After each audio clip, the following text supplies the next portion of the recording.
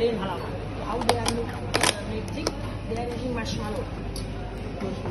Marshmallow also.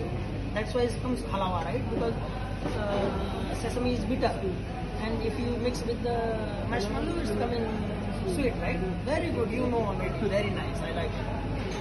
So halava cream sauce we are using. This is the one. Okay, you can taste. Then same mixed berries and same that orange cream sauce also here. Okay. Same here orange cream sauce also here. And mixed berries and whipping cream. That's it. What is the difference? There is a banana, scoop of ice cream. Clear? That is nothing different. Only there is there add the halava sauce and red currant on the top. Okay? So main main ingredient you should know. No need to go very deeply. If you will go very deeply, then they will ask you more questions. So this is this is halal. Clear? Recipe this halal also.